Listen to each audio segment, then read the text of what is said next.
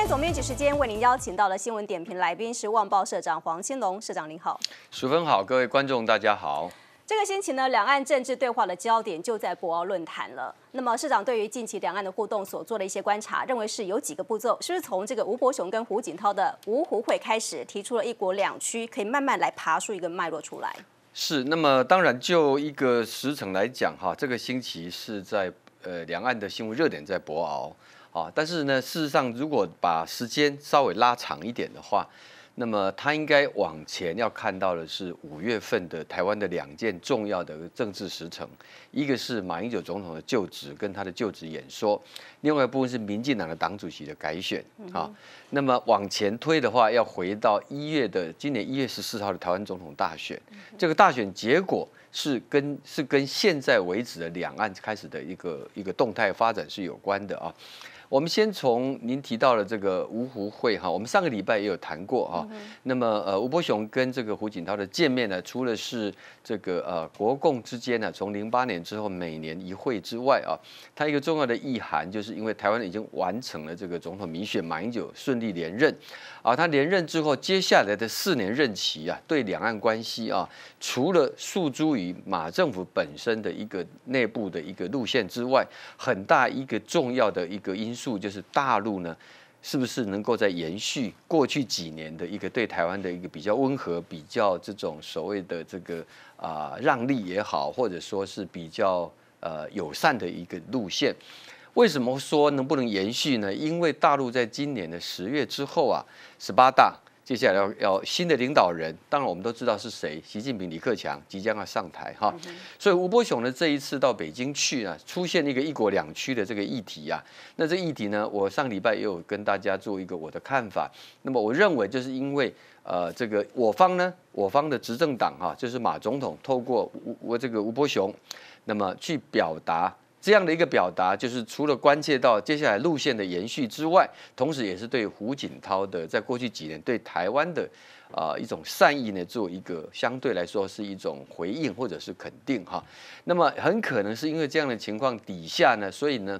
北京方面就提到说，那么过去四年呢，大家两岸有很好的一个互动，但是呢，一直没有听到台湾的当局。讲出说两岸同属一个中国这样的话，一国两区应该是这样的一个产物。那当然，现在大家慢慢的揭晓说，原来那个谈话听说只有几个人在台北这边，其中一个人吴伯雄，另外一个人是国安会秘书长胡维珍啊，还有马英九，还有大概还有一位幕僚了哈。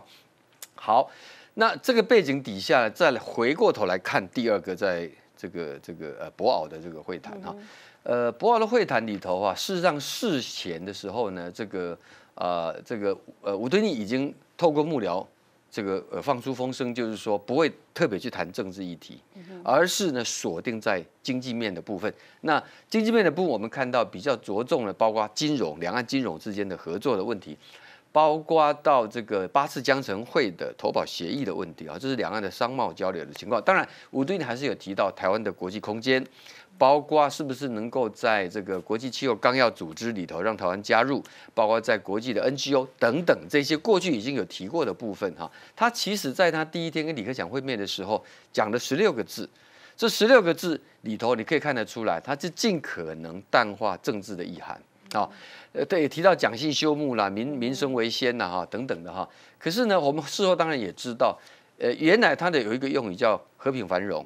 啊，结果他把它改成两岸和平。那据幕僚的一个诠释，哈，就是因为一国两区的争议发生了哈，所以还要把它界定到一个这个两岸和平里头来，哈，这是一个部分。可是呢，在这个同时啊，我们又看到啊，这个这个大陆国台办主任王毅啊，在同一天的时间有个记者会，那么王毅的谈话里头透露出不少重要的讯息，也可以说大陆对台湾或者对两岸接下来的一个。这个互动呢，他的一个基本的立场，其实已经从王毅的谈话当中显示出来了啊。首先，王毅特别提到说，两岸经过四年的这样的一个来往协商，尤其是江城会那么多次的一个协商，以及包括成立经合会之后啊，现在接下来两岸之间的这个啊协商呢，将会进入到一个水深水区，也就是说由易到难哈。那么意思就是说，之前的达成了很多协议很快速，是因为要么就已经做好了前期准备，要么就是双方争议很小，或者说彼此的利益纠葛程度是比较低的。当这一些都解决了以后，你接下来往前走，开始会碰到有些是彼此利益会冲突，有些是个别行业之间会产生了这种利益上的一个争夺的问题。啊，那么这种情况下，他就提到了一个重点，他说呢，在进入由易到难的这个协商的一个基础之下呢，这个时候两岸开始要开始应该要非常的慎重的、非常认真的来看待如何巩固政治互信。政治互信哈，这个意在言外，就是说呢，巩固两岸的政治互信，必须必须先有，有了之后，接下来那些困难的谈判。涉涉及到利益冲突的谈判才能够往前推进，一切的根基都是在互信这件事情上。政治互信还不只是互信，是政治互信哈。那政治互信呢，到底是什么意涵？这就有点意思了哈。政治互信，你如果说台湾这边，你知道我们从二零零八年之后啊哈，在我方来讲，所谓的两岸政策，马英九政府就是三不，啊，不统不独不武哈。那么我的观察是，这个马政府的三不。基本上已经不能满足大陆所认为的巩固两岸政治互信，或者说他在巩固的前提底下，要怎么样推进两岸的这个政政治政治互信的一个情况。好，那如果三步不是的话，那就是什么？那就是九二共识喽，是不是九二共识？对不对？九二共识，但是我们前面也讲到，九二共识有一个很重要，叫一中各表，一中各表哈。那么我们都知道，在一中各表的情况下，大陆的解释比较倾向是各表一中。各表一中哈，所以呢，这一次的一国两区啊，我们看到大陆的所有的媒体报道，着重在凸显两岸同属一个中国，这个意涵其实是比较趋近于大陆对一九共九二共识的一个解读，就是九二共识是等于各表一中，而我们台湾讲的是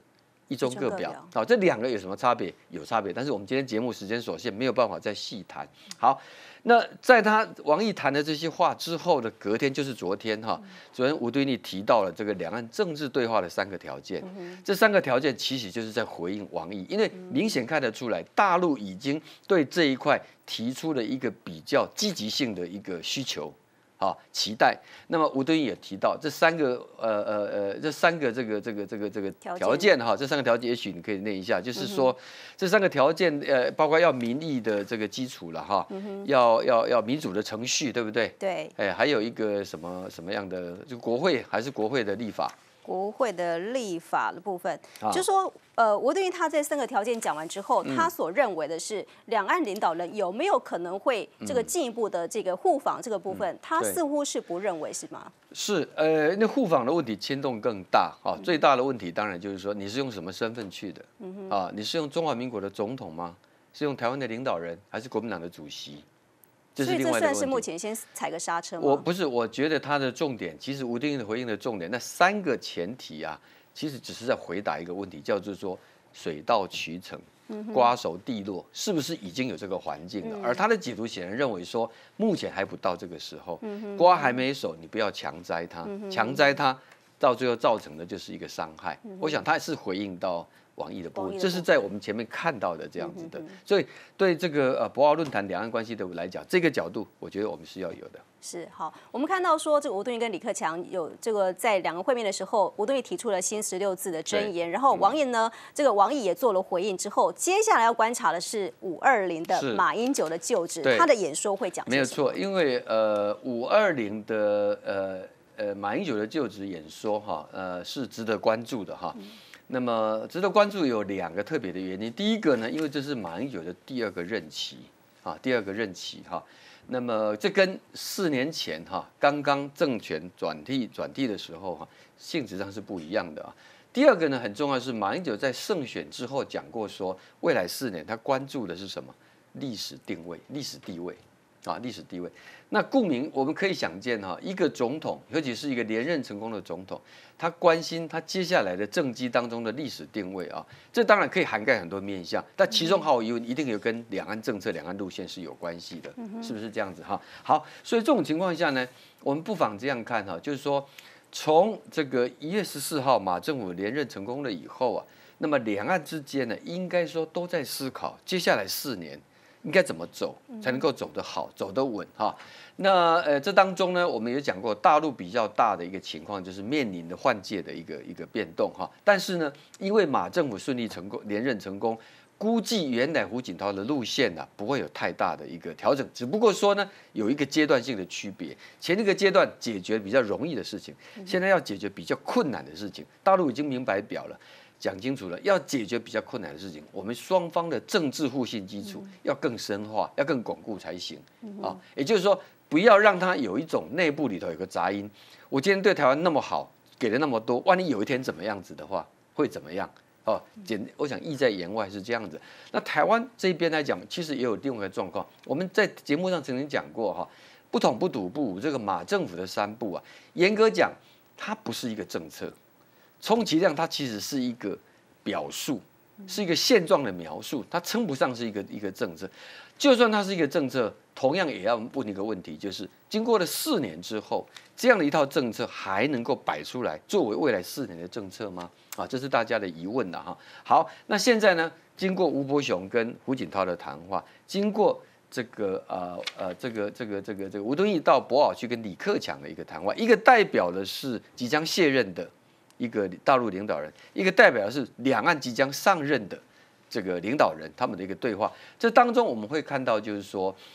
双方其实已经经过了两三个回合的过手了。好，这个过手是一个很神隐的方式哈，但基本上脉络已经出来了。这个时候我们当然会来推测，合理的来讲，五二零的马英九的的的讲话，应该是要关注到接下来四年的两岸关系，他应该有些期待，有些想法，甚至呢能够提出一个，比如说。开始有些人主张，这个马政府是不是应该成立一个两岸和平委员会的事情啊？这些东西是不是要在五二零的时候去表达出来哈？或者说，如果一国两区讲的不够清楚的话，但我们当然知道一国两区是跟我们的宪法跟两岸人民关系条例是合合宪合法的哈。那会不会它有一个新的表述啊？换言之，我的个人认为说，之前的不统不独不武这三步哈，这个阶段应该说它的任务啊，应该是已经结束。要往新的一个角度走了哈，还还有当然还有另外一个值得观察的，也许我们下一个题目要来谈的问题，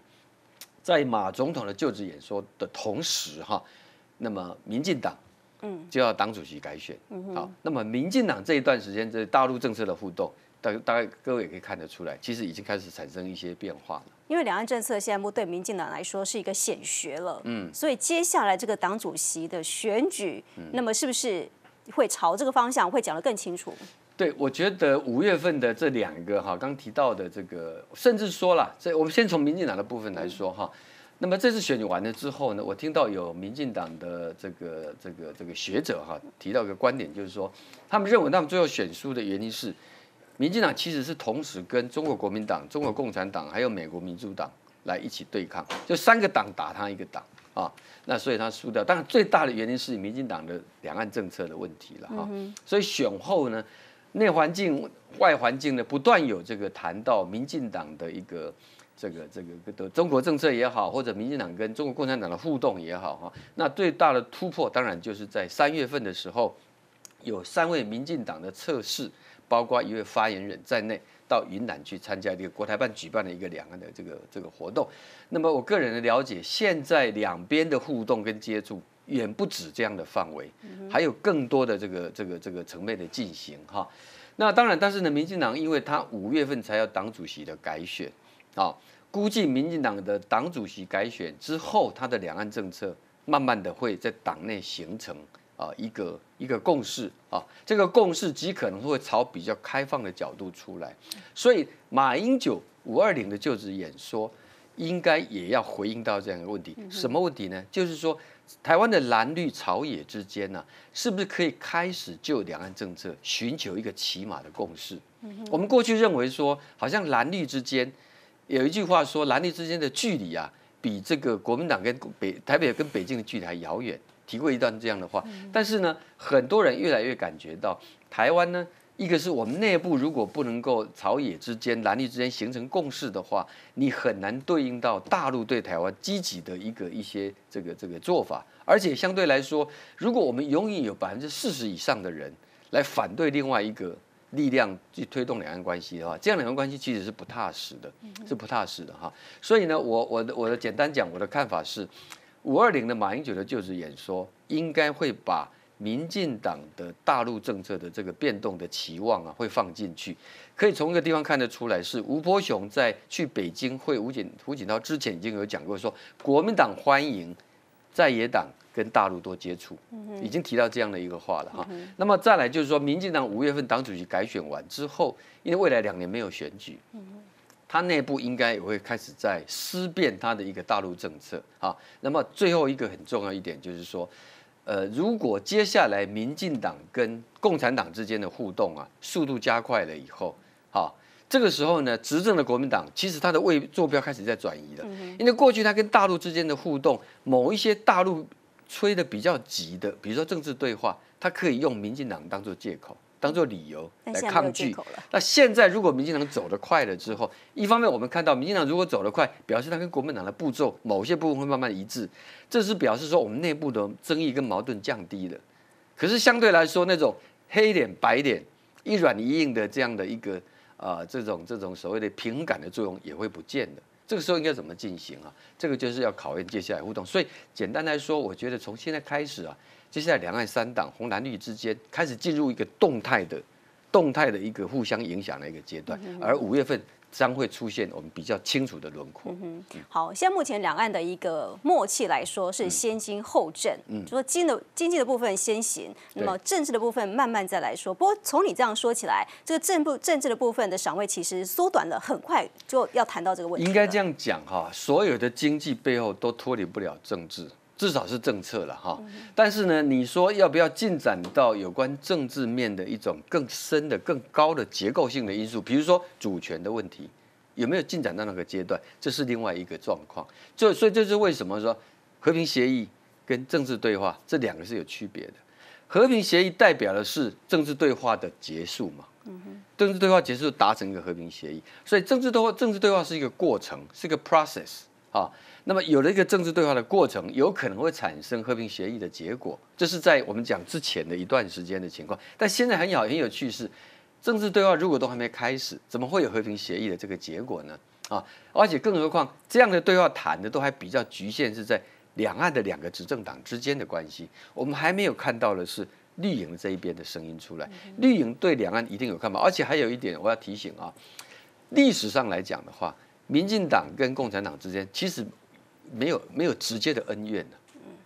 真正有历史恩怨是国共两党，只不过说因为两岸形势的推展，他们现在把恩怨放下来了，好，那现在反而是民进党承袭了反共时代的思维，反共恐共时代的思维，好，所以他跟大陆之间让他感觉上好像都比较碰在一块了哈。但你如果认真去推想的话，其实历史上来说，民共之间并没有什么恩怨呢。国国共还打过仗，还死了那么多人，民共并没有。因为民进党诞生的时间很短嘛，哈，这是一个背景了哈。但是当然了，今天两岸或者民共之间的一个互动，并不是说以历史上有没有恩怨当做唯一的一个衡量的标准，应该要看到的是彼此是不是能够理解，或者说认知到的这个环境的变化，比如说。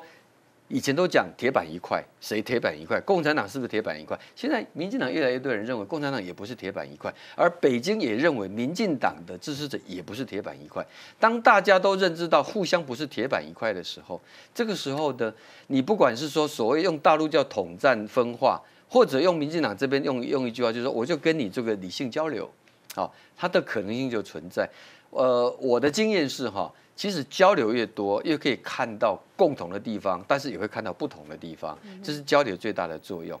好，所以接下来就看五月份，就接下来民进党内部的党主席选举之后，对于两岸政策的一个转变跟角力了。